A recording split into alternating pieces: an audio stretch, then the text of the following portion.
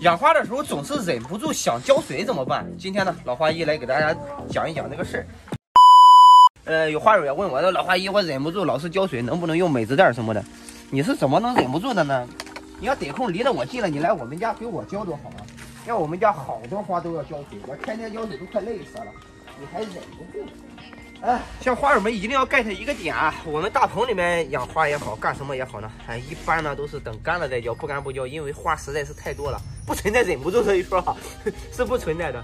呃，只好多的花友就是不理解啊，为什么我总浇水这个花就死了？你要了解哈，植物它有一个特点，它跟人不也一样吗？你就打个比方说，它的一个浇水呢，跟人喝水是一个道理，人是渴了就喝，不渴不喝，你不能闲着没事搁那老喝水吧，咕咚咕咚咕咚咕咚咕咚。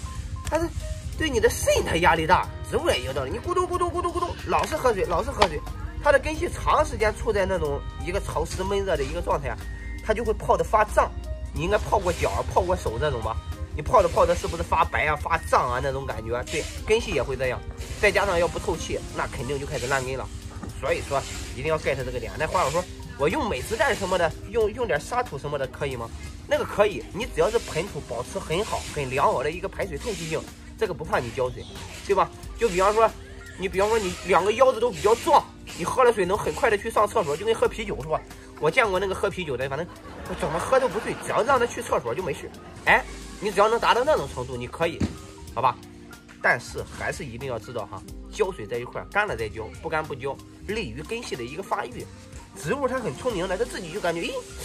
怎么老是没有水呢？它就开始激发自己的潜能，它把营养会匀一部分出来，让自己多去长一点根，这样的话根系会更加的发达。您明白了吗？要是控制不住，来我这儿，让你浇个够。我是老花一，养花最专一，拜了。